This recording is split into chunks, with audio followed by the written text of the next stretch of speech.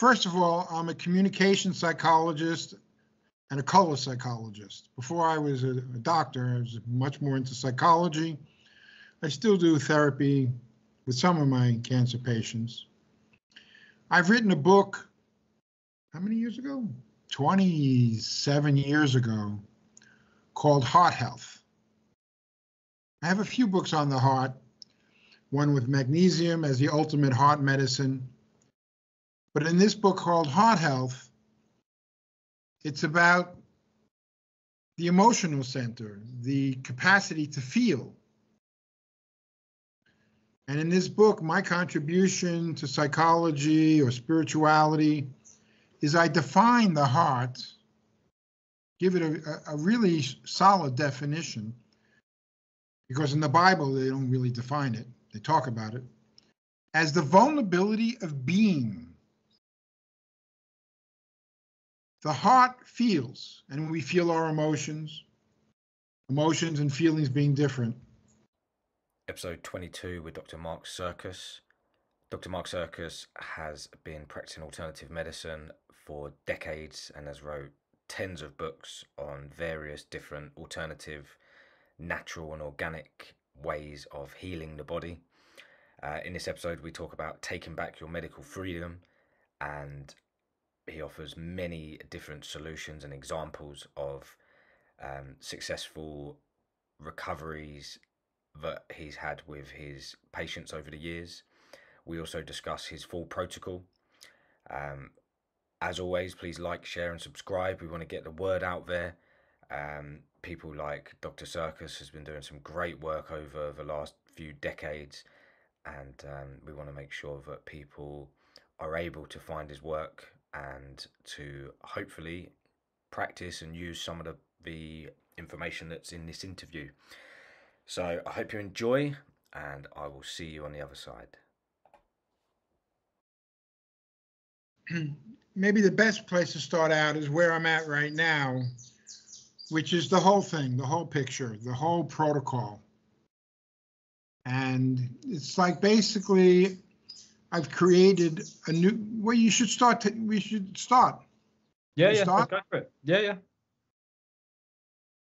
Now I'm a very interesting place in my life and my work, professional work, because I've kind of finished 20 years of work.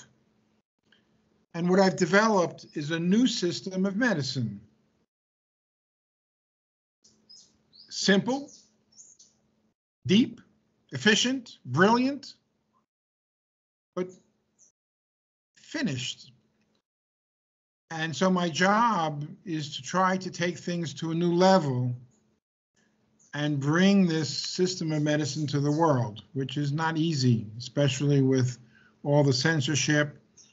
I've been censored by Google for, I guess, four years, four or five years now. Since they started censoring, they hit me first and um, so it's I've been swimming upriver, you know, all these years, able to maintain everything and grow things, but still, um, the mainstream totally ignores me. I'm totally against the mainstream. Uh, I'm the I'm the uh, doctor in the world who who coined the term. This is 18, 19 years ago. Pharmaceutical terrorism. To me, the whole medical industrial complex is uh, they're the worst terrorists in the world. The the Muslims can't even, you know, they don't can't compete at all since COVID came, things have gotten only worse, totally destroyed the reputation, integrity of modern medicine. The best estimates I have is 17 million people killed. So I'm totally against it. In my system of medicine, when I say it's simple, for instance, and logical, which medicine, modern medicine is not at all if we take an example of a person coming out of a desert, not having any water for four days, what's the medicine for that person? It's water. A mainstream doctor would probably give a statin drug or something. You know, they they don't have any sense of what the body needs to heal. We talk about magnesium. Basically, officially in the world, using the wrong tests for magnesium, mainstream medicine will say between 50 and 67% of people are magnesium deficient. If you look at people with chronic disease, you're talking about 99.999% are going to be magnesium deficient. Same level of coming out of a desert with no water. What you have to give first as a first, not as a supplement, as medicine? Magnesium. You know, there's a product you're probably familiar with, magnesium oil. There's no oil in it, but it's 35% magnesium. It's very oily. And it's a great uh, analogy because magnesium is the oil to the body. It's I can't think of anything in the body that's not involved with. And yet, will doctors prescribe it? No. No. It's it's hard to actually find clear and obvious medically um, like you know suggested um, symptoms of low magnesium. It's only when you look at like your work and others where you can actually start to build a picture as to how a lot of uh, different symptoms are actually related to magnesium. Well, it's not just symptoms. You know, in America, 100 million people either have diabetes or metabolic syndrome. You know, there is something exists called medical science, and modern medicine doesn't pay any attention to it. It's not a mystery that magnesium is involved with insulin production, the shape of the enzyme, so its efficiency, and insulin receptivity of the cells, all magnesium mediated. Every single person, every single one of them who's either metabolic syndrome or diabetes is deficient in magnesium. It's science. It's science. And even even when they do publish something about magnesium, they'll acknowledge how many people they don't say healthy or chronically ill populations. They don't differentiate. They don't know how to think. They don't know how to think. But the first thing, just like this logic of giving water to a dehydrated person, you give magnesium to every single chronically ill person, and even acute diseases. If you get the flu, we've you know, medical, you know, brilliant medical doctors for a century. If you flood the body every few hours with magnesium, it's the best. It's it works for acute infections. Yeah. Of course, in my system of medicine, it's not the only thing. But then we get to bicarbonate. I'm the world's expert on bicarbonate and CO2 medicine. You know, we live in a CO2 demented world. You know, they made an enemy out of CO2 when without CO2, there's no life on the planet. Without CO2, there's no oxygen. Plants couldn't make oxygen. Almost every person alive today is breathing too fast. When I was born 71 years ago, the medical norm for breathing was eight breaths a minute. Perfect breathing is six. I had a cancer patient yesterday. He's breathing at 24. What's the problem with breathing too fast? You know, a regular doctor, if he even has any idea about breathing, Usually it's only emergency doctors and ICU doctors and the ambulance people pay attention to breathing because the person's near between life and death, you better pay attention to the breathing. Regular doctors haven't a clue. Problem with breathing too fast is you're breathing out too much CO2, lowering the CO2 in the blood. And since 1940, medical science knows you, oxygen and CO2 are perfect yin yang. CO2 goes down in the blood, oxygen delivery to the cells goes down with it. Yeah. The miracle of bicarbonate is you put a lemon in the glass or you drink it straight with water and it hits the stomach acid, Well, lemon is an acid. Acid turns bicarbonate into CO2 and it goes into the bloodstream back in the form of bicarbonate, you know, right through the stomach wall.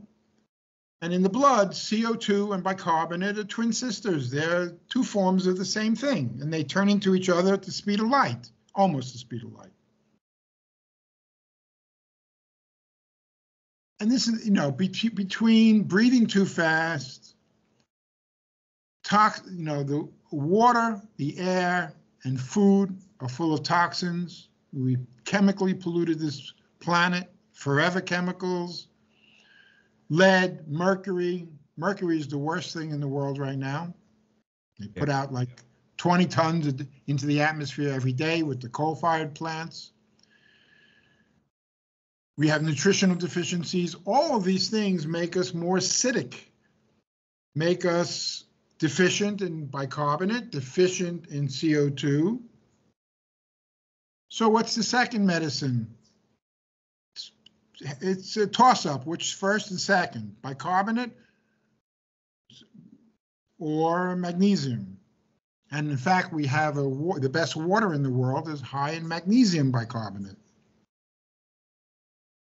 How how um how do you take your your um bicarbonate soda? Are we talking pinch of baking soda? I, I know in other interviews you spoke about making sure it's pure. There's no aluminium in there. Obviously, you want to get the purest stuff you can. Are you talking quarter of a teaspoon a day, or how how what would you oh. recommend for an average well, healthy person? Well, it depends if you're a cancer patient or you're diabetic or you're a totally healthy person, and how many totally healthy pers- people are on the planet these days. I'm not sure. Yeah. Not easy to be totally healthy in this world of ours especially with people going crazy because governments have lost their, their they've lost they have their screw, screws missing from their brains you know emotional stuff and spiritual stuff and mental stuff all weighs heavily on the body yeah when i when i recently i haven't been using bicarbonate because I, I do to, to keep to to increase my CO2, I use this device. Comes from Russia, called the Frolov breathing device. All my cancer patients use it. There's a little bit of water in. You breathe in through your nose and you breathe out through the machine. You blow bubbles. You breathe through the water, and the water puts a brake on your breathing. I use this every day and um, when I breathe with this, I'm breathing three or four breaths a minute. Wow. That raises my CO2 in my blood. This morning, this morning, first, I've been very lazy lately. First time in a month, I used my CO2 dry suit. It's this thing that, you know, you get into it, it comes up to your neck and seals around your neck, big blue thing.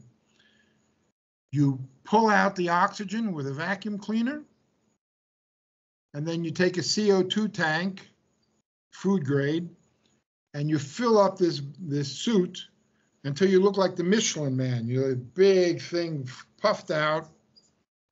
You lay down and you taking a bath in CO2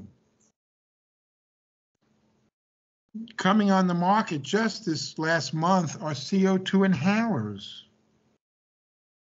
where you, you, use the same type of tank, but instead of getting in a suit which can get, you know, a pain in the ass after a while.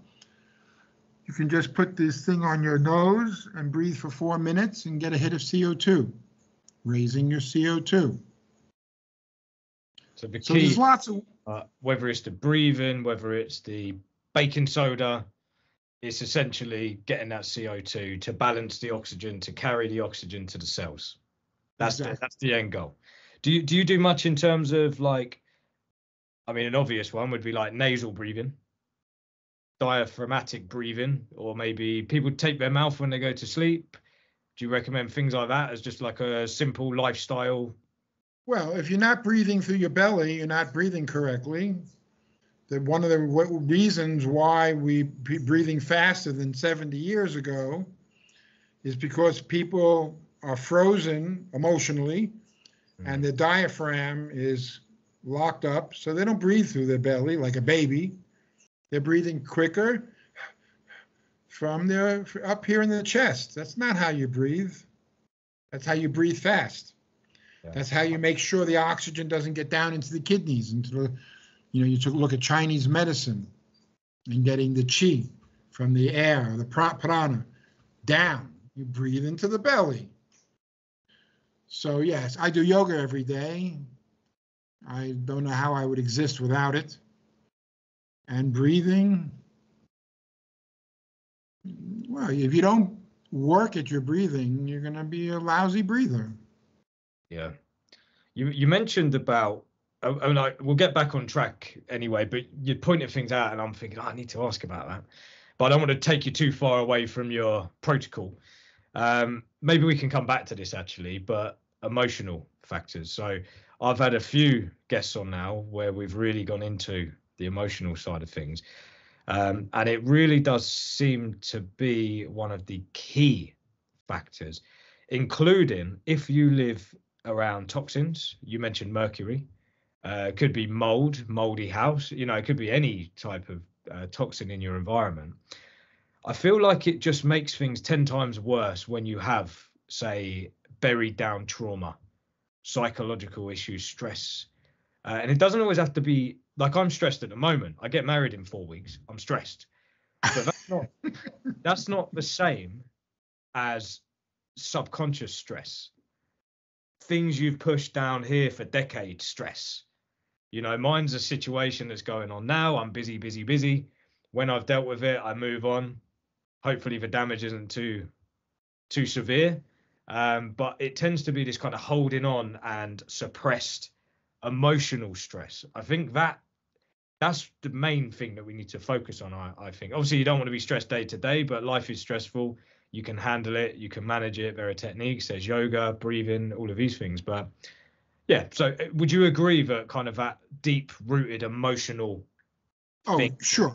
First of all, I'm a communication psychologist and a color psychologist. Before I was a, a doctor, I was much more into psychology. I still do therapy with some of my cancer patients. I've written a book, how many years ago? 27 years ago, called Heart Health. I have a few books on the heart, one with magnesium as the ultimate heart medicine. But in this book called Heart Health, it's about the emotional center, the capacity to feel. And in this book, my contribution to psychology or spirituality is I define the heart, give it a, a really solid definition, because in the Bible, they don't really define it, they talk about it, as the vulnerability of being. The heart feels, and we feel our emotions, emotions and feelings being different. I moved to Brazil 32 years ago, and the, mi- the minute I came, started walking around Brazil from the United States, I left from Florida, I could feel much more heart. Less so 32 years later because everything's moving in this very civilized direction. People, Western people, and probably the majority of people on the planet, they think from the minute they wake up in the morning to the minute they go to sleep and have a difficulty going to sleep because they're still thinking.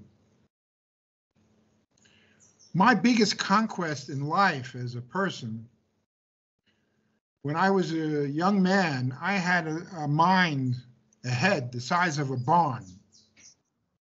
So complex, it was, I couldn't even understand myself. And through, well, it took me about 15 years of constant meditation. I was able to get out of my head for 20 minutes at a time. And in the process of doing that, I, th- my, threw down my mind and my heart, my life. I, I, my, my everything I do in life is heart driven, not mind driven. My mind is a servant or slave to my heart. Yeah.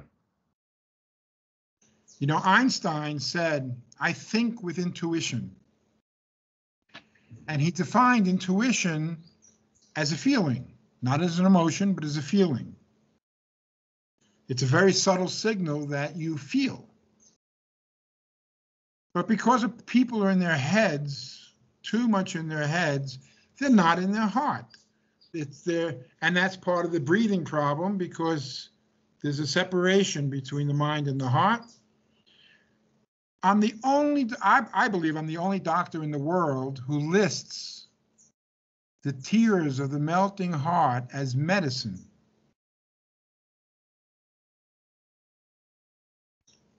Some people, when you you know have in the in this heart health work, you know, a very direct way of getting into the heart. You lay down, you breathe after doing yoga, whatever. You just take your head and you just go straight down and put your concentration at the heart. And the only way you know you're getting, you're touching the heart is when that tear comes down. When you open yourself to be vulnerable to yourself and your own feelings, of course, which would include these unconscious things. Yeah. And um, and when you leave the heart, there's also a tear, either going in or out. Yeah. Part of the problem with this whole emotional thing in the world and how it's affecting people, there are many people who just can't get out of their head and touch their heart, and the tears don't come. And yet, cancer patients are very vulnerable because they're faced with death. And you ask a cancer patient, I ask every one of them, do you cry? Can you cry? Do you cry? So for me, this whole issue is simplified just between the fact between the the separation between the heart and the head. Yeah. And I list it as a medicine because it's that strong. The difference between somebody who's able to be vulnerable and somebody who's not it makes a world of difference in their treatment, Yeah. in their health, and their I- happiness. I, I've said this a couple of times on on this show. Um, I was seeing a lady. She's um, psychologist and coach and business coach and all of this. And she was saying, she said to me, she's like, I've noticed with you, you always say, I think. I've never heard you say, I feel. And she's given me some techniques. I've gone away and I've really thought about it. and I noticed, I said it to my missus, I said it to a couple of my friends about it. And that, you know, down the line, they've noticed I've started saying I feel, and I've noticed I've started saying I feel, and I noticed that I just become so much more open. Uh, as you said, I could listen to a song and it brings on a little tear. I can be walking and just thinking about the future. I don't know. It could be anything. Um, obviously, I'm planning my wedding. I'm, I'm thinking about her walking down the aisle. I'm thinking about the first dance, and I get this feeling. I've I never really had that before. So I think just even just a small amount of work I did, and you know, touch wood, I'm I'm in good health. Um, so for me, you know, maybe there wasn't such profound um, acknowledgements, but just to notice that and uh, yeah, that feeling I get, it's there. It's been there ever since. It's been a couple of years now, And when I do meditate, I just I just I can get this flood of positive energy. And I was very much like you, as you said, uh, in there in my brain, thinking all the time, never felt. I didn't have time for feelings. You know, now I watch a movie and there's a bit of a sad thing. I'm, you know, I'm sort of hiding away. Don't let don't let them see that I'm crying. My kids, I have six kids here in Brazil. When we used to all live together, which we don't anymore, but um, they're all growing up. when we watch a movie together and I'd be crying, they, they would be amazed. but like, as you say, I mean, they say it's you know it's it's masculine to cry. I mean, I don't really look at it that way. I, I look at it as it feels damn good, and I want to let it happen. I'm not going to block it, and I'm not worried about it. I just let I let my energy flow, and, and my emotions go when when the time's right, and it feels good. You know, you know about Christopher Hills? No, I don't think so.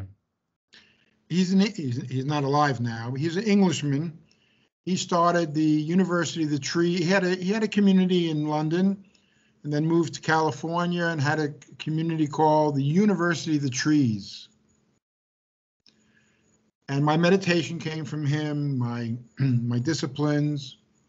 I'll talk, talk in a minute about his process. The most unpopular process in the world is called creative conflict. My study of the heart was from him, and he said the strongest person in the world is the one who's the most vulnerable. A person who is totally vulnerable, they're not afraid of anything. They're not afraid to show themselves exactly as they are. And that's vulnerability because people don't do that because people judge. You share something vulnerable and the person's not listening or they're talking on top of you. There's a lot of reasons why people keep stay closed. his his process, creative conflict, which I've developed into a therapeutic process and I use with my patients. Not pop is a group process, so you really need three people to do it or more. He had a group of 40 people doing it. Unpopular because the first step was to prove in front of a group that you're listening. So if you're take a situation, you, you come home, your wife comes home from work, and you never do the dishes, and it's a mess, and she gets angry and says, "I'm so pissed off at you because you didn't do the dishes. You never do them." People, you know, don't don't listen to it. They can't listen to it. And yet, real communication, creation of peace and harmony and love depend on listening. If you don't listen to somebody, you don't listen to your husband or your wife, what kind of relationship do you have? I'm going to have to share this with the missus because that's one of my biggest bugbearers is I talk and she's head in the cloud. I'm like, did you hear me? She's, yeah.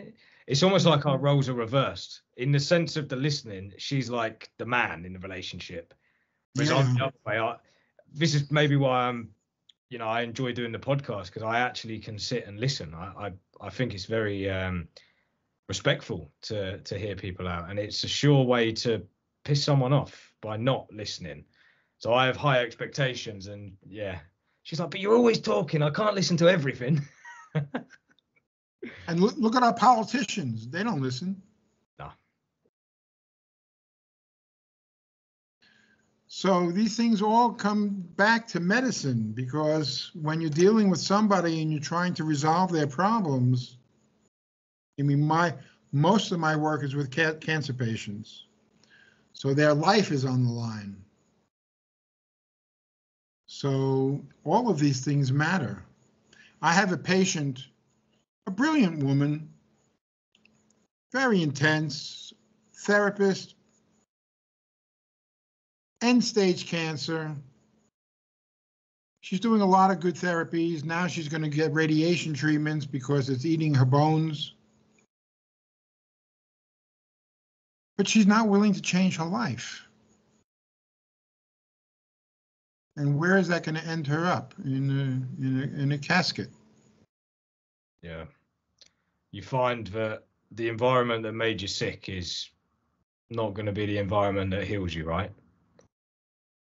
I think it's easy for me to say this because, you know, count my lucky stars. Like I said, I'm in good health, but I do think that, and I, I have had my fair share of, you know, issues across the years, but you find, or I find anyway, that there's there's sort of lessons here, and almost life is a reflection back at yourself.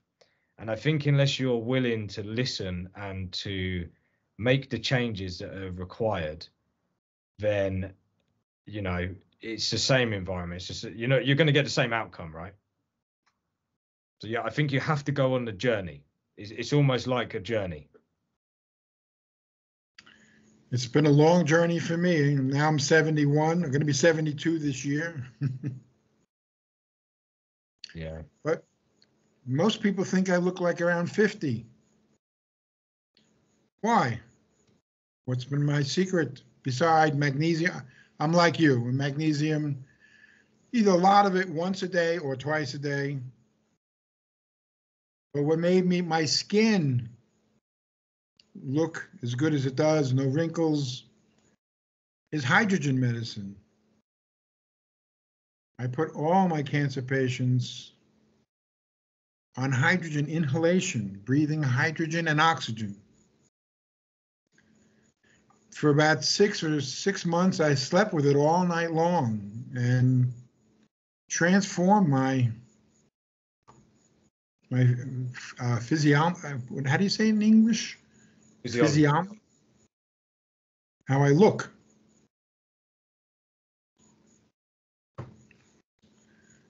In China, you find it. In, in, in Japan, you find it. In United States, in terms of talking about in doctor's office or ICU units or emergency units or the sidelines of contact sports. You know, if somebody gets a concussion on the on the football field. They should have a hydrogen machine and flood the person with hydrogen the minute they carry him off the line. Ambulances should have it. They shouldn't give just oxygen. Should be giving a combination of hydrogen and oxygen. But modern medicine has got cement in their in their brains, and they just what can I say? Yeah. There are certain things that if you go to the right place, like China, you you know when COVID hit, they were in ICU. They were using hydrogen.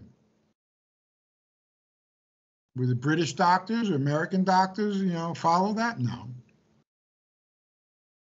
Is is this a similar outcome again? Is in terms of getting the oxygen in the cell?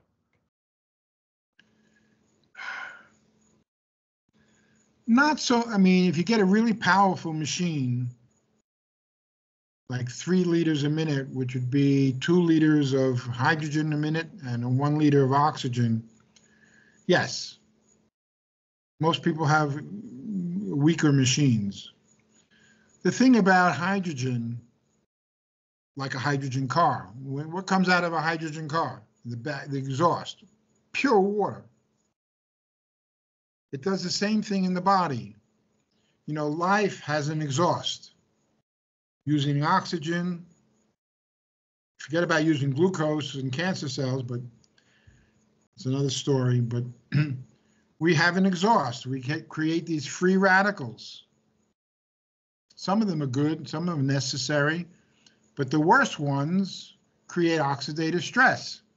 Oxidative stress creates inflammation and creates cancer and almost every disease.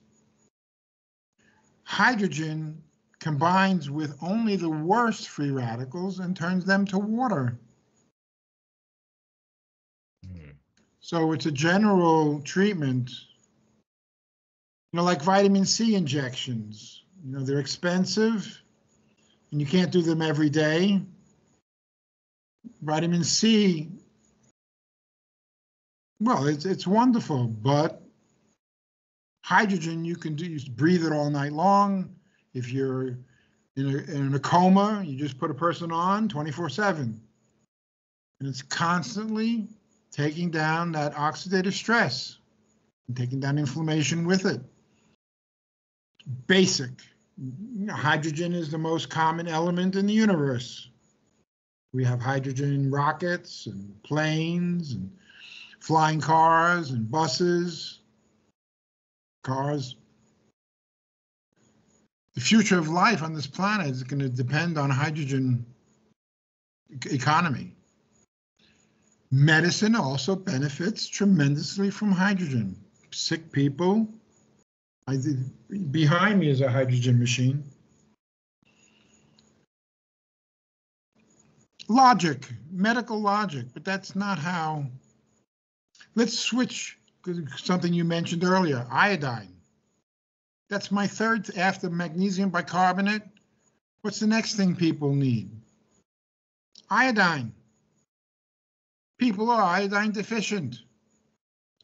Governments recognized this 70, 80 years ago and they started putting iodine in the salt. Or maybe 100 years, I don't know how long ago, because when people are iodine deficient, very deficient, they get goiter. They found out that iodine is one of the few th things in modern medicine, which of course they don't use it anymore, that where they, they have iodized salt, that if you have a little bit of iodine, you don't get goiter. I, I'm friends with Dr. David Brownstein in Detroit.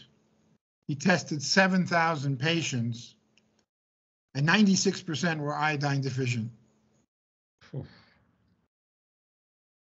There's a lot of reasons we're deficient in iodine, like water, like magnesium, like bicarbonate. If you're iodine deficient, how do you recover from disease? When iodine is totally essential for metabolism. Also, iodine kills viruses, bacteria, and fungus. You give enough of it. 120 years ago, you got syphilis, what would they give you? They give you a gram of iodine.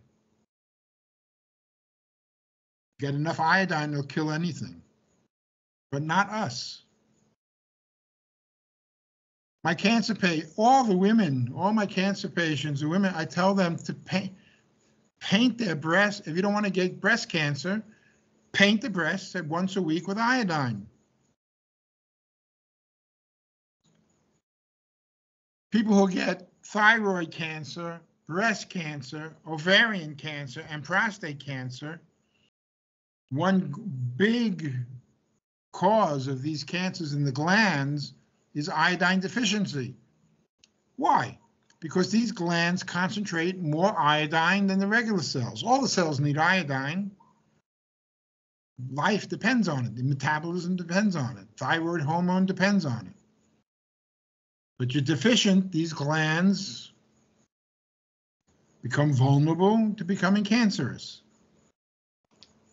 How, how do you recommend taking it? You just mentioned painting it on the skin, so you can do it um, what's the term there? Trend? No, what's the, what the term there be? Topical, transdermal. So in terms of, uh, do you put it in your water like a Lugol's iodine? Yeah, I use I use uh, Nascent iodine and Lugol's iodine. Combination oral and uh, transdermal painting. You know, for kids, you can just paint it on their skin. You don't have to give it to them orally.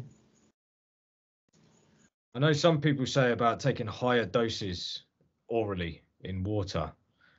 Things like if you've got candida or even parasites, as you said, it kills viruses, bacteria, and uh, fungus. And, fungus. Six drops in in a cup of water, would you say is is, is Six, good... 10, 15, 20, 30. I never counted a drop of iodine in my life. The, the, the secret to iodine is when you first start, you start at low dosages and you build day by day by day. If you're a cancer patient or even a diabetic, you want to keep getting it up higher and higher. The problem with taking too much too fast is because a person's iodine deficient, their thyroids become, um, we have a great word in Portuguese for this, entupido, meaning stuck with fluoride, bromide, which is in white bread, which is in many medications, rocket fuel. When Fukushima blew up, it, blew, it blasted, blasted the northern hemisphere with radioactive iodine, one of which has a half-life of eight days, so it disappears very quick, and the other form is 15.2 bil, uh, million years. When you're iodine deficient, which most people are today, because the salt in the salt they put you put iodine salt on the table in one week it's gone. And they don't put much in it anyway. Enough only to stop goiter. Yeah. the problem is, is you don't have iodine in your thyroid. It, it's like a big radar dish. And it's desperate for anything that even looks like iodine. Which fluoride does bromide the radioactive form I was going to say things like dental X-rays and things. If you're deficient in iodine, could that be an issue for the thyroid? Yes, you well, if you're deficient in iodine, you're more vulnerable to everything. Yeah. Because your your your metabolism is depressed. So if you take too much iodine right away, it's going to flush the thyroid of all these poisons, and you'll get sick as a dog. And then people will stop. And then people will stop. So you start out low, three drops a day. Through- For cancer patient, I'll do three drops twice a day of Lugol's 2% or Nascent. And every day I add a drop and keep adding a drop. And the sky is the limit. If you're dying of something,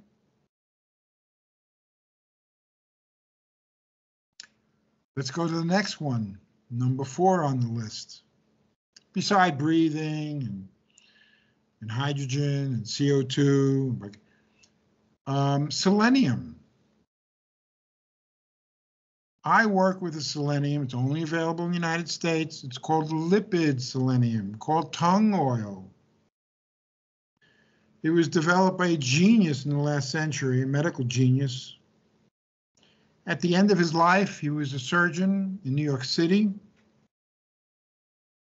With this form of selenium, he used to inject it as chemotherapy.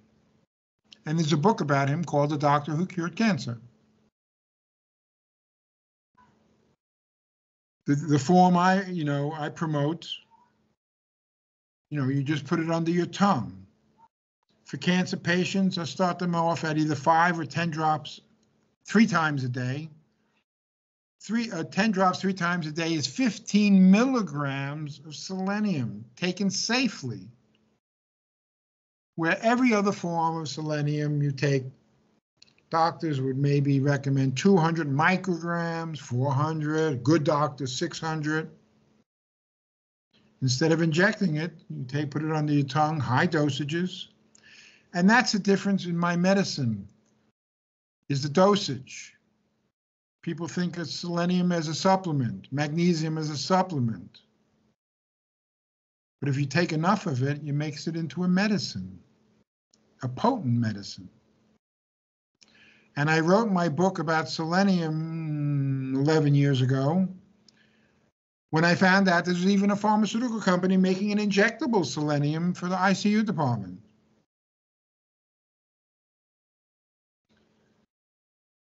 Again, these are we're at the in the foundation of life. These things are essential, like water is to a dehydrated person. What makes selenium so important in your in your protocol? Well, selenium. Well, first of all, we live in a mercury polluted world. The air, water, and food is saturated with mercury. God forbid you have a amalgam mercury filling in your mouth. Yeah, I wasn't that naive, luckily. In England and Europe, they don't do it very much anymore. Many countries made it illegal. except in certain circumstances. In America, the FDA, the wonderful people of the FDA who brought in the COVID shots. Oh, dentists, it's fine to put mercury inches from the brain when it leaks 24 7, fumes. Selenium is the antidote to mercury. The only reason you can eat tuna fish today is this the because it, it's the top of the food chain in the sea, loaded with mercury. Yeah. But it's not pure mercury. It's selenomercury. The mercury is bonded to selenium, which is the, the sea is full of it. So when you eat the tuna fish, because it's selenomercury, it it'll go through the digestive tract and out. If you take mercury fumes, if you breathe it, if you eat it, it's in your water, then no. I had this conversation today about a guy at work who eats, uh, he's been eating a tin of tuna every day for about eight years. And he's got dark bags under his eyes, talking about all different you know things maybe anxiety issues with sleeping concentration. He said his uh, attention to, attention um, span has dropped massively barely focus. I'm like man you need to cut that tuna out. God. But as you said i mean maybe you're not digesting as much as if it well if he if it wasn't in the form of selenium mercury he'd be dead dead dead already that, that much tuna fish i never could understand how they could make put tuna in a can and it could be sitting on the shelf for a year and be okay. It's fish. I still don't. I still don't understand. But uh, selenium. So in a mercury polluted world, taking selenium makes a lot of sense. In a mercury polluted world, in a um, radioactive world, you know, we're full. I'm just I'm just finishing a book called The Secrets of Light, and the last chapter I'm writing is the downside of, of radiation, whether it be Wi-Fi, cell phones, cell towers, the electricity in the house, Musk bombarding the planet with Wi-Fi signals so you can get an antenna any way you want and, and capture it. I have one here. All this radiation creates oxidative stress. Yeah. And then, of course, all the chemicals. Mercury, uh, selenium is important for the production of glutathione in the body. Glutathione is the enzyme naturally made by the body, usually not enough in chronically ill people, that's responsible for detoxifying the cells. Selenium is an important part of glutathione. I'd have to go back and read my book to give you another 10 minutes on selenium for all the other things. And then it's still discovering things. Yeah. Selenium is just a basic element. You you're in an area where low selenium in the soil and the plants, higher rates of cancer. They have these statistics. Yeah.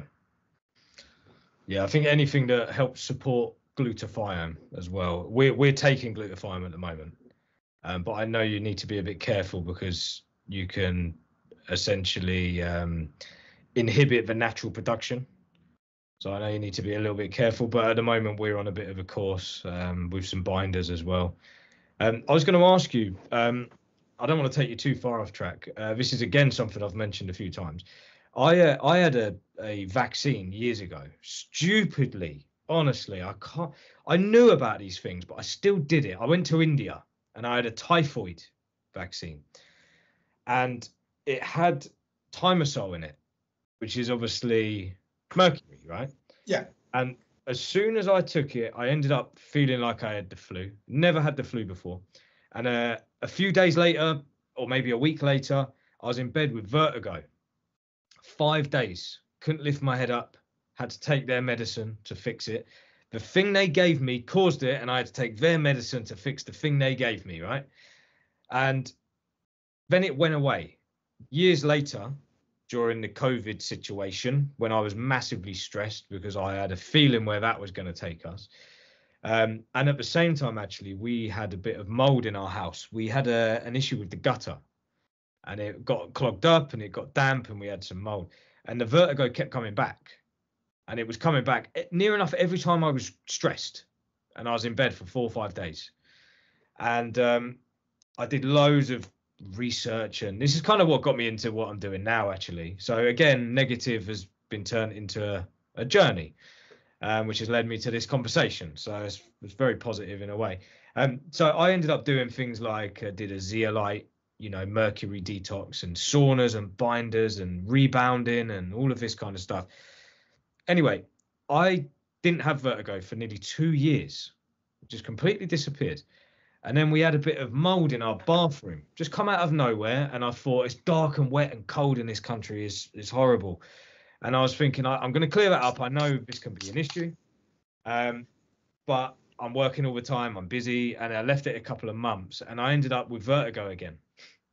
And also at the time back then, I was getting tingles all down one side of my leg. That's come back again. So I'm i st- I'm digging in, and I'm starting to believe that mercury, when it's in your body, it can end up anywhere. It can end up in the brain, in the fatty tissue, in the cells but it can also attach itself to the central nervous system. And also, so can mycotoxins from mold.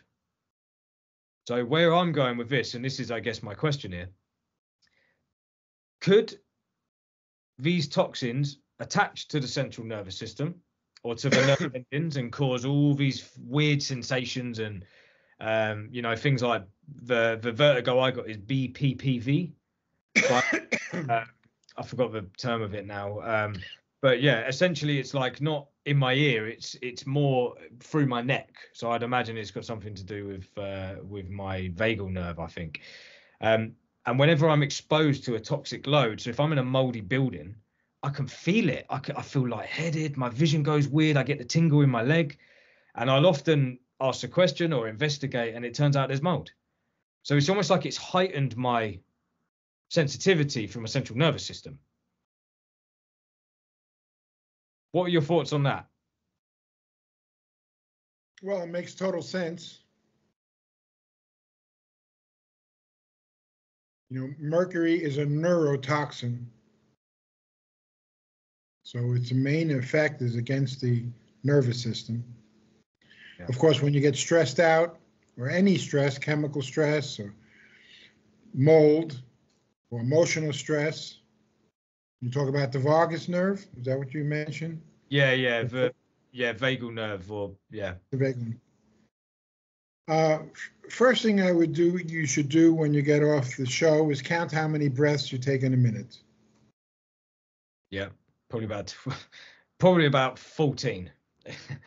I've got it down to six before because I do practice breathing at times, but I tend to hyperventilate you know, I had asthma as a kid, and yeah, the breathing's not the best. Yeah, so you should get yourself one of these, which makes breathing easy. 60 bucks on Amazon. Yeah. Thank God for Russia. They're medically more advanced, scientifically more advanced than the West. and it's it all has to do with CO2 physiology. You gain a lot by investing five, ten minutes with one of these machines every day. Do you ever eat clay? No. Like bentonite clay or? Bentonite clay, calcium bentonite clay. Yeah. I drink it first thing every morning. It's like a binder, right? it's a binder. It's a healer. It makes sure when you eat clay, a good clay, that it, like a sponge, absorbs water. The clay absorbs poisons. So it's like a drainage system, gets things out of the body. Yeah. Better than zeolite. Better than like activated charcoal or? Well, charcoal is something else. Charcoal you use more for uh, so acute stomach problem, intestinal problem. But for long-term use, clay constantly. You know, I, I've been living, splitting my life between my sanctuary, where I'm at right now, which is at the end of the world. At night, I can shut my Wi-Fi off, and I have zero Wi-Fi signal. And uh, a year ago, we moved to Brasilia so our youngest kids could go to school. With a beautiful city, beautiful, beautiful, beautiful city. The trees are actually bigger there than they are here, and I'm in the forest. I noticed because I stopped using clay for a couple of years, and I went back maybe six months ago that when I'm here in the pure environment, even after taking a shower, I use, need to use deodorant. But when I was in the city, I didn't need to use it because it was more of a polluted environment. So the the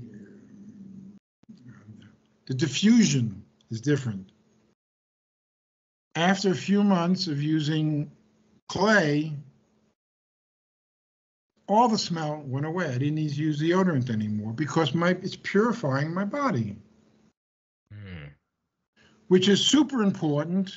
There are many ways to detoxify, but something like clay in a toxic world is like water for a dehydrated person. You need something to help. So, going back to the original, my system of medicine if we look at the 10 most important needs of the body, detoxification is one of them. Hydrogen is one of them because it's bringing down oxidative stress. God forbid you go for a CAT scan, a PET scan, and they just bombard you with tremendous amount of radiation. We get enough of it just from living just on the surface of the planet. Of course, because we're going into a solar minimum, we also get have less protection from the sun, so more cosmic rays are hitting the planet and going right through the planet. Of course, creating more stress inside the Earth and more earthquakes and more volcanoes because these are high energy things. You know, so you know, if you the only thing the only thing about hydrogen is it's expensive. You to buy a good machine costs you 2500 bucks. To buy a great machine 3500. Not everybody in the world can afford a hydrogen machine. But everybody, almost every not everybody, but probably 7 out of the 8 billion people can afford bicarbonate. You don't even need to spend 60 bucks. You can breathe consciously slower and train yourself every day. Doesn't cost anything. So we've been talking about these basic things. They're all basic needs. And water uh, for a dehydrated per person is a uh, is a good model. I think that's the thing when when you most people don't do any preventative measures. And then when they do end up in the hospital, the first thing they're doing is pumping you full of drugs and they're not asking these basic questions. And you often find it is these simple things, normally from the environment. Do you live in a moldy house? What's your diet like? Are you drinking enough water? Just see, so I, I don't think it's such a large step to hmm. get what you're saying. Um, and especially, like you said, when you do look into things like magnesium and the CO2 levels in the body, it's absolutely key. And your body burns magnesium like it's going out of, you know, out of fashion. I've noticed that when I spray it, I can I can spray twice today, and it doesn't sting, it doesn't burn, it just feels fine. And then I can have a stressful evening, and I can spray it in the morning, and it stings. So it, it, it's almost got a gauge. It almost tells you you need more. Every time I come out of the sauna, stings my body every single time, which shows me I'm sweating a lot of it out or burning a lot of it as well. So um, I think these are the things, just daily daily rituals and little daily steps they accumulate. You know, and the level of medicine that I'm, my my system don't even need to ask. With magnesium, you don't have to ask anything. You can assume, right? If you're a doctor, and you're not treating a person who's perfectly healthy, who's eating spinach seven or five times a day, just through basic medical intelligence, you can safely assume that the person would benefit tremendously by taking magnesium and taking a lot. I have an S, one essay, the, um, a gram, I, I suggest as a minimum a gram a day which is two to three times what they the government says you need. They, they talk about you can overdose as well, but it's water, water soluble, isn't it? So you you just you just get rid of it at the back end. Yeah, they, are full of they're full of crap. They want you to be afraid of everything good, and they want you to take everything bad. Which, you know, there's no such thing as a pharmaceutical that's safe no such thing. Yeah. You find people would sooner rather eat some Cinnabon or some chocolate bar full of God knows what than spray magnesium on them. And if they have any symptom, they blame the health thing. oh, it must are you taking are you taking it orally too? No, I'm just I just spray a lot. First thing in the morning, midday after the gym. Oh, you think to do it orally as well? Yeah you need to do both. you know, tra- I'm I'm famous in the world because I'm the guy who wrote the book Transdermal Magnesium Therapy. Yeah. That put me on the medical map of the world. So I'm totally into transdermal. I don't I really very rarely use it transdermally, but I take orally every day.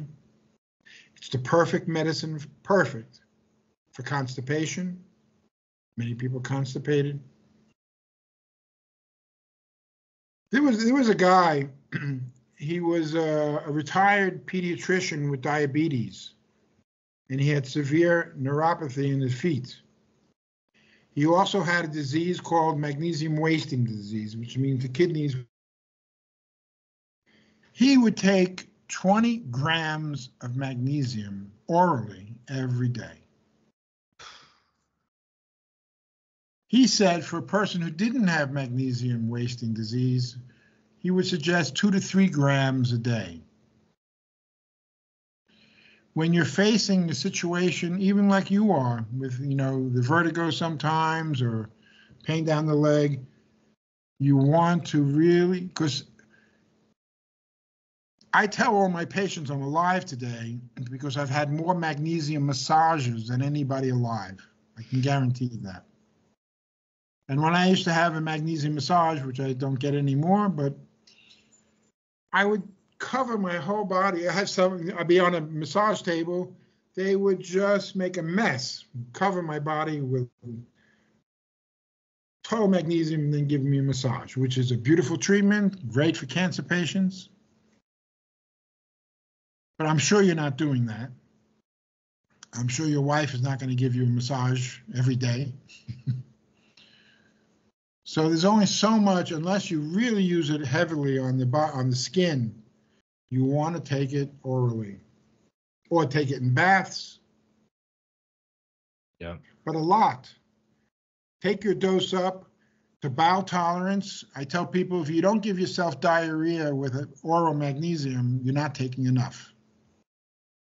You take enough orally to get diarrhea, then you lower the dose, your body gets used to it, and then you go back towards bowel tolerance, and usually your body can t- accept it without getting diarrhea.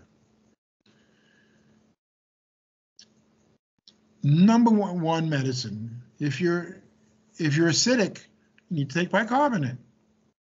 Magnesium bicarbonate, potassium bicarbonate, magnesium bicarbonate water, many different forms. If you're very sick, CO2 inhalation, the CO2 suit I have, breathing, Do you um? So what, whatever I was doing has helped with the vertigo, because I went two years. At one point, it was every three months, and that was getting scary because I was bedbound four or five days, and you know I was 32, 33 at the time. And I'm thinking this is this is not right. So something I was doing is working, and magnesium was one of the key things I think. Is it? Is there anything So else? want- Well, if you want to go for a complete cure, take more magnesium. Use it. You're not using it as a medicine. You're supplementing with it. You're putting a little bit on your body. That's not enough. If it, one of the most brilliant doctors in the world is in England, and she's the one who established that if somebody's in the hospital and they're dying of cardiac arrest, and the doctors have exhausted all their pharmaceuticals. And you're dying. You're dying. You, you just you're dying. What she would do is inject magnesium showing what it can do when you take really high dosages which of course an injection or an iv use it more as a medicine. How old are you? 35. You know, you have some, you know, inbuilt, you know, you're healthy, but not perfect. If you don't push up towards high, more heightened levels of health, there's no way of escaping the stress of life, whether it be emotional, chemical, radiation, heavy metals. You know, it could come back more frequent, but you Yeah. want it to disappear totally. Yeah, yeah. I thought it was disappeared. I thought it was gone. And I actually interviewed a doctor in she was in Mexico and was talking about parasites and vaccines and all, all that kind of stuff. And I was talking about my mum, right? So I didn't grow up with my mum. I didn't know her till I was 18. And I was talking about that and how I've, you know, healed from all of the trauma and all of this. That very night is when I got vertigo again that very night, and this was about four weeks ago. But it was like, like I said, it was nearly two years without it. So I, I'm looking at it from a, hu- thousand angles, but emotional. There, there's something going on there, and this is why I asked you at the beginning about there's a link between toxicity and emotional toxicity. Yeah, yeah. I was listening to a, a doctor, um, Dr. Adams, years ago. She was, she had incredible um, knowledge with mercury, and she was talking about when you detox, a lot of emotion comes out with the buried toxins. So I thought that was incredibly um, interesting as well. And she um, she went really into the whole mercury thing, and that's where I started looking into. You know, that's kind of what really drove me into it. Um, did you mind talking a little bit more about Mercury? Because we've uh, we've kind of brushed around it, but I, I wrote a book.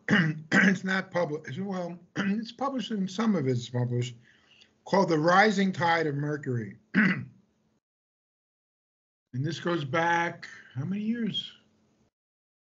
Oh, about 18 years ago. and I was working with two people, Dr. Rashid Buttar, who many people believe was just recently assassinated, mm, yeah, and Dr. Boyd Haley, who at the time was the chairman of the chemistry department at Kentucky University.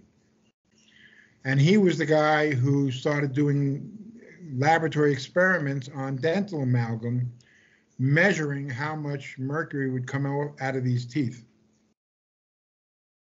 So he, I called him my chemical rock and uh, so I did it. You know, I wrote a book,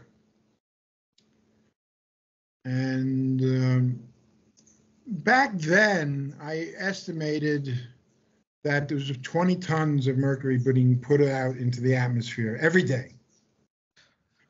You put a mercury on the head of a nail or a needle, and you can pollute a reasonable sized lake with just a little bit. Mercury, even, I mean, and there's millions of people with dental amalgam. Here in Brazil, they pretty much stopped using it.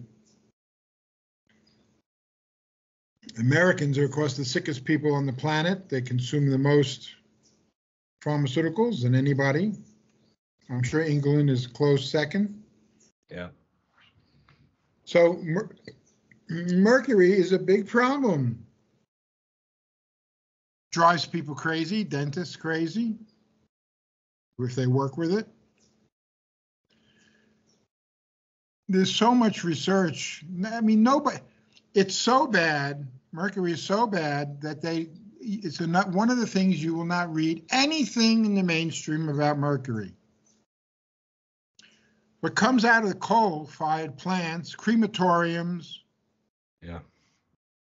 industrial municipal incinerators is mercury. The West, Europe, and United States, they're totally demented, probably because the minds of the people and politicians are mercury polluted. you know, we want to switch to safe energy and stop using coal and stop using petroleum.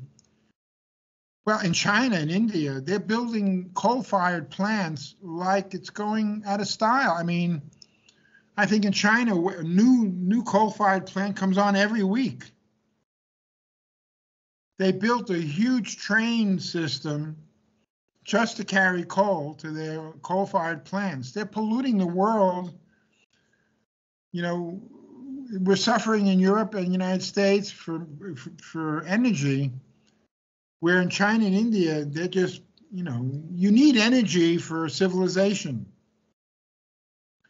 And they're burning coal like there's no tomorrow. And so I have no idea how much mercury is. It doesn't go away. We've been doing it for 100 years, progressively worse and worse and worse. It accumulates everywhere in the Arctic, in the Antarctic, everywhere. So it's a real and creates mental mental problems.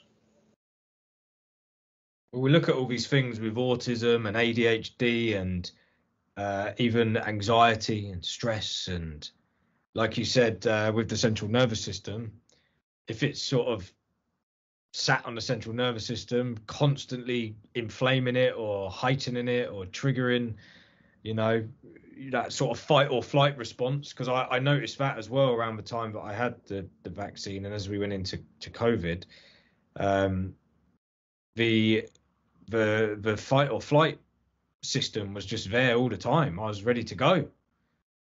It's only all you know these two years where I've really been working hard on it, like like all the things we've spoken about, that um, I've actually calmed down. so the anxiety was absolutely horrendous at one point. I was going out for about three or four long walks a day, where I was just desperately trying to get out of my head. And you know, you speak to you can go speak to professionals, but they haven't got a clue that you've got a neurotoxin sat in your central nervous system heightening your alert system all the time. So um, yeah, like I said, it was the, the, sauna was like one of the big things.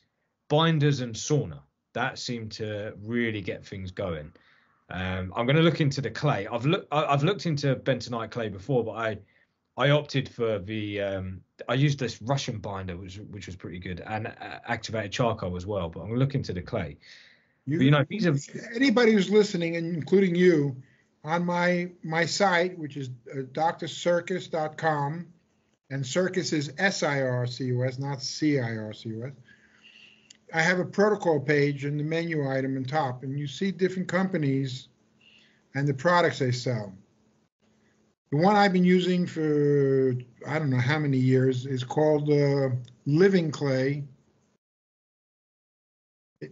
incredibly, it's so pure, it tastes clean when you drink it. It's very easy to drink.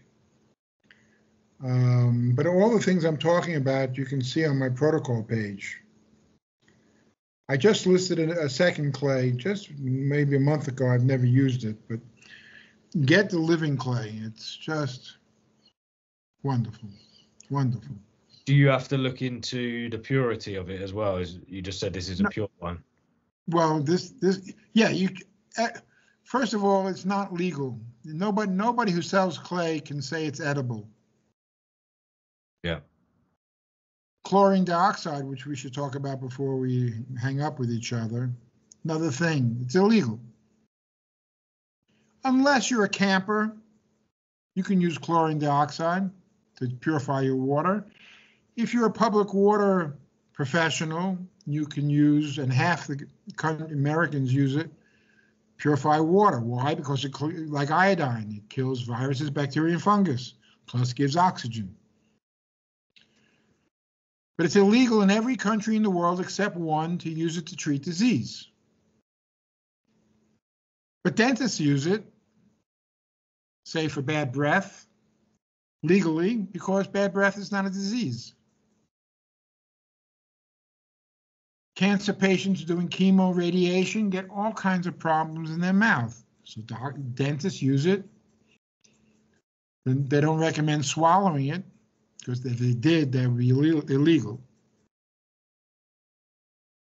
Same with clay. There's no such thing as edible clay unless you talk to Dr. Sircus. Well, uh, look, it's been great having you on. It's been amazing. Is um, should we leave it there, or did you want to? Was there any Uh, protocol we've missed? I know we've been a bit scattered, but uh, I think looking through your work, I think you've covered most of it. Well, no, I covered, I must have 30 items in my protocol and we've covered 10, 12, 13 maybe. So there's always more. Sulfur, another very basic medicine. MSM, DMSO. No, DM, well, I used it, I didn't, I don't think I put it on my protocol, but I've used it. Yeah, have some in my bathroom. You- Great to put on top of magnesium. You put put the magnesium on the body and then the DMSO gets hot. I made a mixture of the two, which I I use it orally as well for the teeth. Really good. Yeah. You know, so one of the problems with, you know, mercury, what is mercury, you know, how, how does mercury affect the body? Well, it destroys sulfur bonds, disulfur bonds. Some people get a lot of mileage out of sulfur. So, I mean, I can go on. Glutathione, we talked about, it's on my protocol. For people with lung cancer or asthma or any kind of problems in their lungs, I recommend nebulizing bicarbonate and glutathione. So I'd have to even look at my own list to go down through the list. But dealing with the top 15 things, you're, you're way ahead of the crowd. And maybe the last thing I would say is my medicine is a little bit like orthomolecular medicine. The problem with orthome- ortho, orthomolecular medicine is you need a doctor. They give you extensive tests. They come out with complex formulas. Where with mine, anybody can just pick it up and go through the first 10 items, and it's like water, meaning fulfilling basic needs. You don't need to be diagnosed. You don't need to be diagnosed to how much mag. No, no doctor would even, except maybe a handful, will recommend it as a medicine. So you have to just make assumptions, and that's what my my process or system does, based on medical science. Medical science says we're deficient in magnesium. They don't even want to talk about iodine. They don't want to talk about selenium. But the same logic applies. Yeah. Simple, simple, not very, until you get into the equipment like, well, this is, as I say, 60 bucks. Hydrogen machine, 2,500, 3,500. Infrared devices, saunas. I'm very much into infrared. We didn't talk about that. I have very, from England, I have a there's a the, the, the world's expert, world's number one expert in infrared is in your country. He has marvelous equipment. Um, what's the answer to a person who's cold? People fill out my my intake form. What's your body temperature when you wake up in the morning? The we know science, medical science. For every degree you're below normal, you lose 20% of your immune system. So what's the treatment? You want to warm up the body, sleep on an infrared mat all night, and support your body temperature, your core body temperature. It's too complicated for doctors. Only pharmaceuticals. Poison, poison, a little more poison. Can, can I? You've just mentioned about the infrared. So I use a red light panel. I use it every morning. Love it. About 20 minutes every day. Drink my coffee and sit in front of that while I'm reading or whatever. Um, what what are the benefits that, that you've noticed? Um, well, you know, for many years I promoted uh, biomats, something you sleep on. And my focus was on body temperature because mostly my focus was on cancer patients. Also, did just dream machines, especially if you live in a cold environment or you're getting older and your body gets cold. To sleep in the bed with a biomat radiating infrared into your body all night long is just a dream machine. They're just. But since talking to Mark in his name is Mark in uh, in England, near London. I've started paying attention to its effect on the neuro- ner- uh, nervous system, how it gives power to heal the nervous system.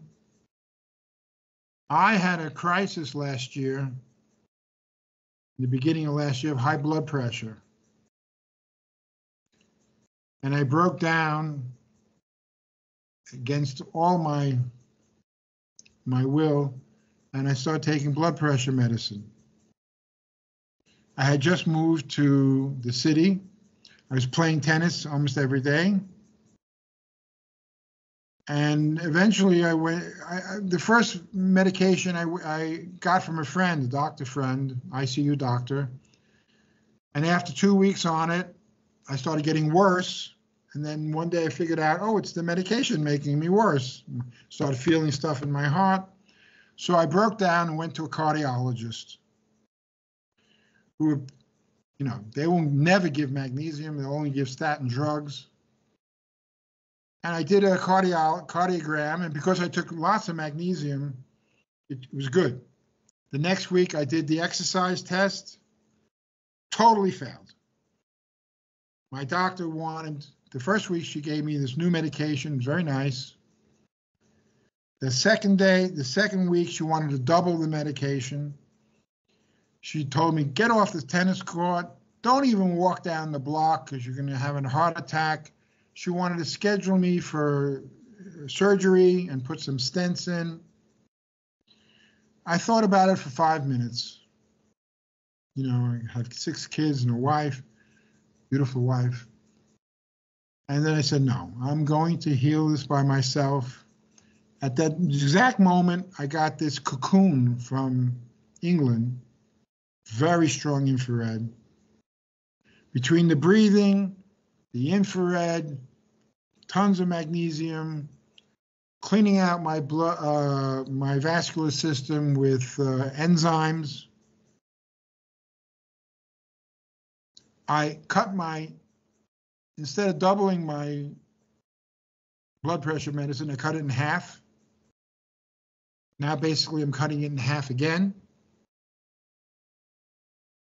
For, so for me, to answer your question, it helped me, infrared helped me heal my vascular system.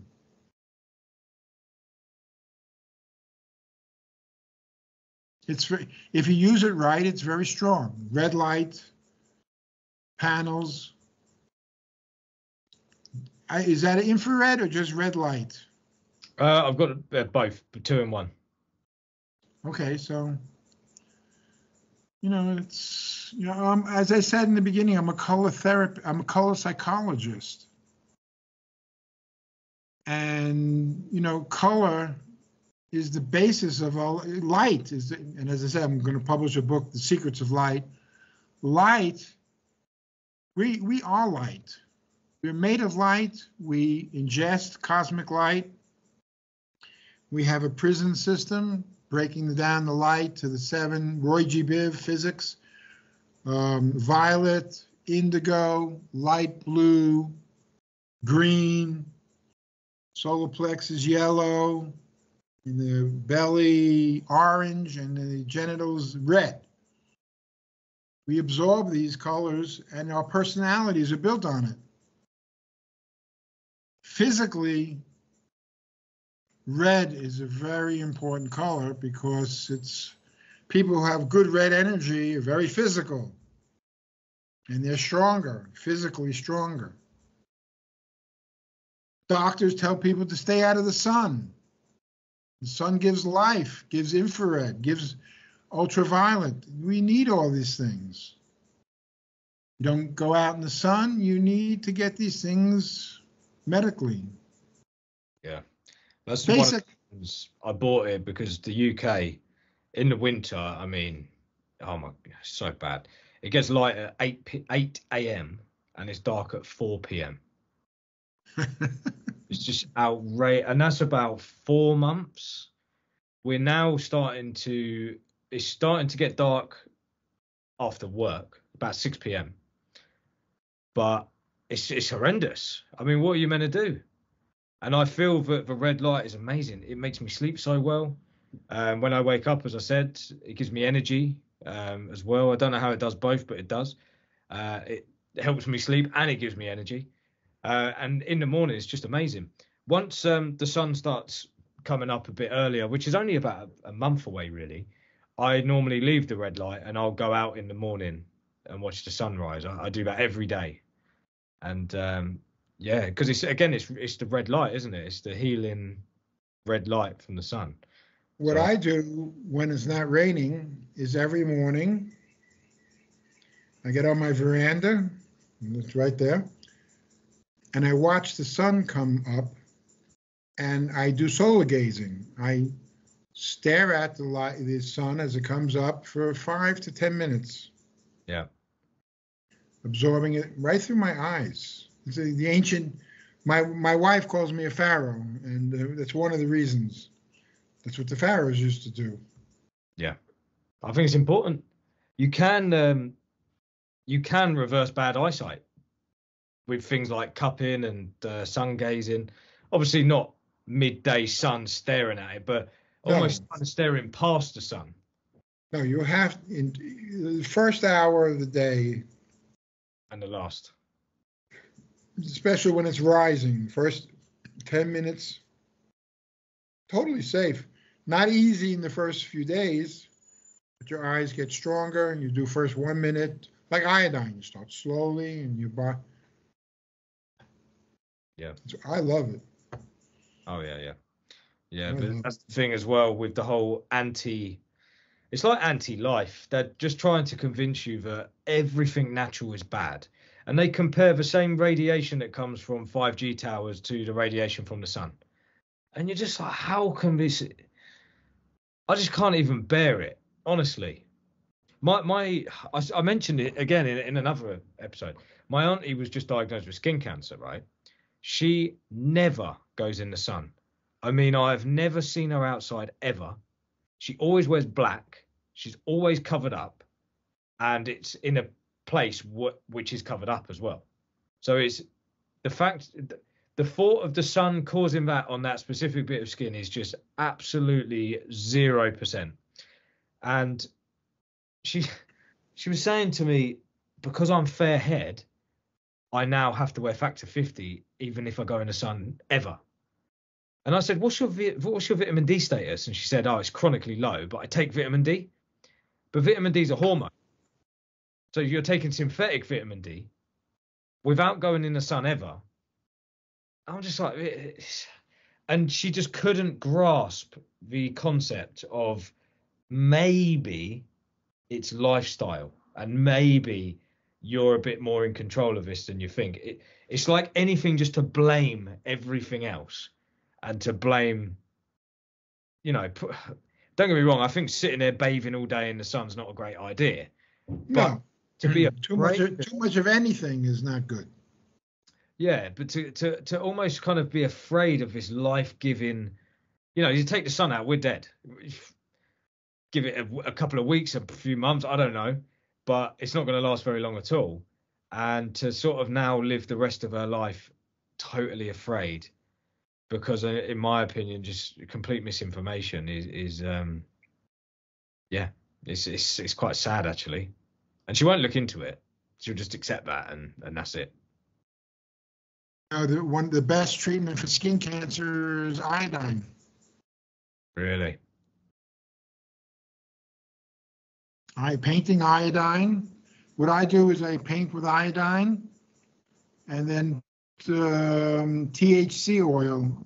Once the iodine dries, put THC oil, which also has can- anti-cancerous effect. You know, medical marijuana concentrated. I had a I had a, a mark right here, and I started thinking maybe it was turning cancerous. I did the treatment. Totally gone. Totally gone. Really. Totally. See, this is a, the other thing as well, and this is what I I love about your work and people like you. Obviously, if you have a situation, you want to know someone like you, but I think it's good to be doing the research now, to be following people like you as a preventative measure.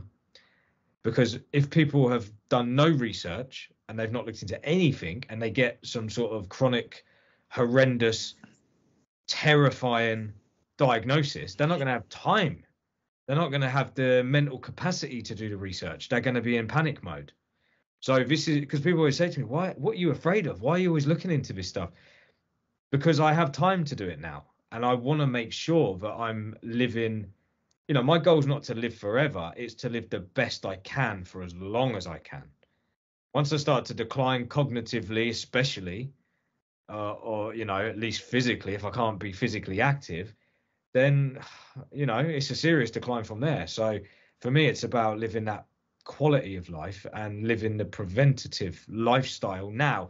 And it doesn't have to be boring. It doesn't have to be, you know, people would say, you know, do you not live? Are you not happy?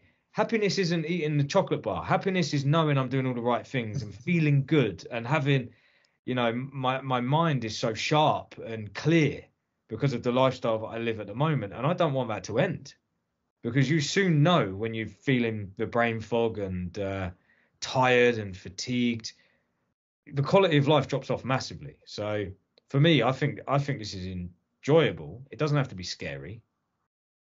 Do me do me a favor.